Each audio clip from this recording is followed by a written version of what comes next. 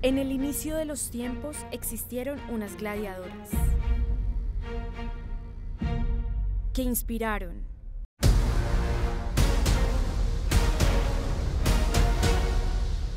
conquistaron, Incluso la doctora me decía como, Cata, no, venga ya. Y yo, no, a mí me tiene que sacar en camilla de acá, pero yo acá no me salgo.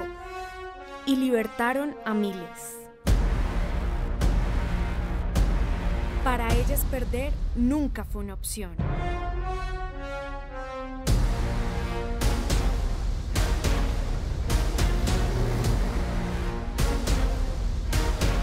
La meta es ganar. Ellas son las damas de hierro.